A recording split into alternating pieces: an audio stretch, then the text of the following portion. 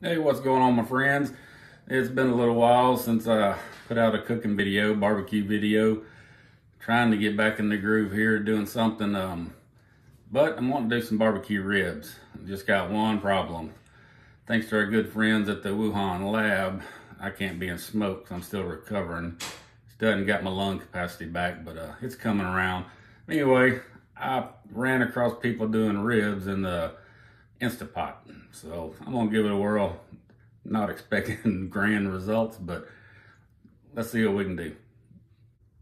All right, we just got us some spare ribs here. I've already trimmed up the back and uh, took the skin off.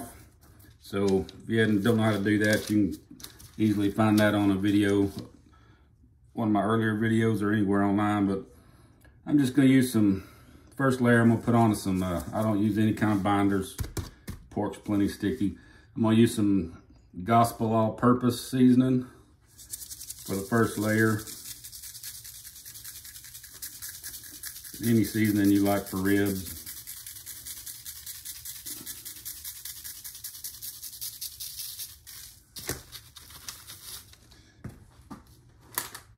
And I can't tell you what this layer is because this is one that wins the trophies.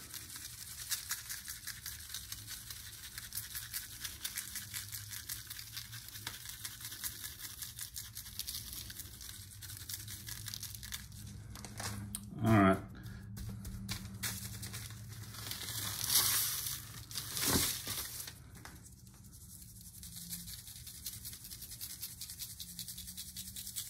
We'll finish getting these seasoned up and we'll be right back. All right, I saw kind of ideas for uh, ingredients on what liquid you put in there.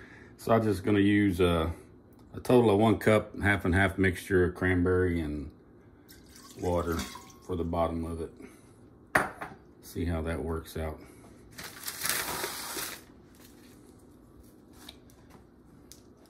You, uh, let them set and sweat in for a little while.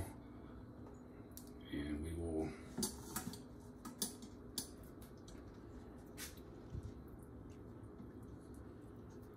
put them in and see what happens.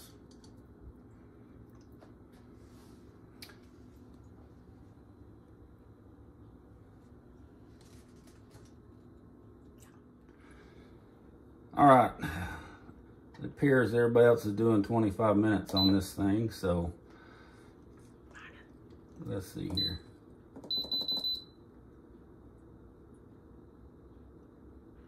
We'll set it for 25 minutes. Mm -hmm. That's it. Well, as you can hear my crew member in the background giving me directions for the Instapot, I have no idea what I'm doing with the Instapot. So, uh, I'm gonna go get a cold beer. Oh, never mind, we're not barbecuing for real, so I'm gonna go sit back in the recliner and uh, drink some sweet tea. Nope, unsweet tea, because doctor said I need to be on diet also. So anyway, I'll get back with you in a few minutes.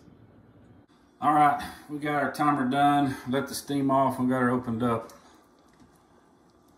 Let's see what kind of mess we got here.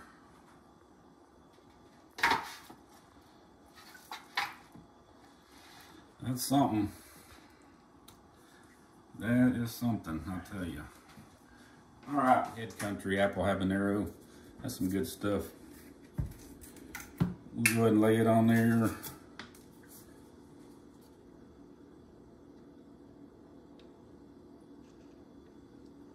We'll get this coated and I'm gonna throw it in the oven for about, I don't know, a few minutes there. Let this get caramelized and everything.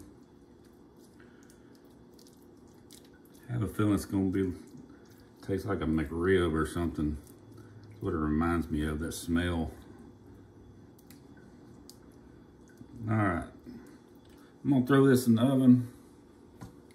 Let that cook and I'll show you all what it looks like when we get out.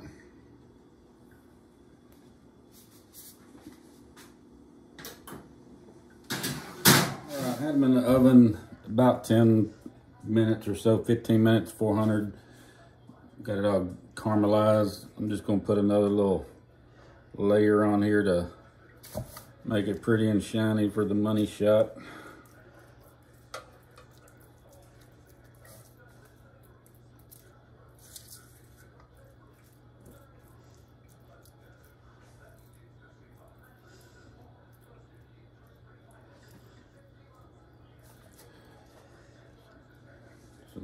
Go.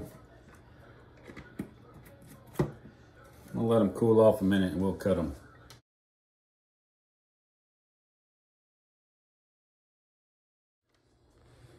All right, let's let's see what some steamed up pressure cooked ribs look like. I mean, I probably won't even be able to cut them. They're just gonna fall apart. We'll try to cut them so I can give you a, a cross section like a, yeah, they're too tender.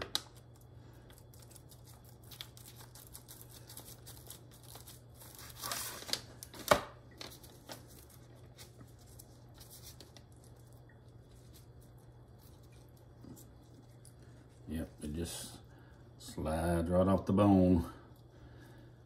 Be get some good good ribs around the house. It wouldn't be worth a darn for competition cooking, but uh, anyway, let's see what this tastes like. I guess we don't need that bone in the way.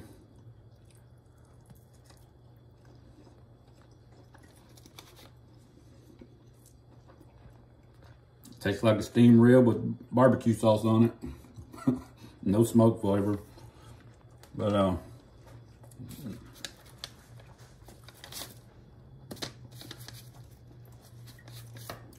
So ain't gotta worry about the bones. Just grab you a fistful of meat. Anyway. All right, so what do we think about the steamed up pressure cooked ribs? They're okay. I mean, if you really want some ribs and you don't have time or you can't cook, they're all right. Maybe try some liquid smoke in them or something, but um, it's it is what it is. It's not a smoked rib, but it's good and tender.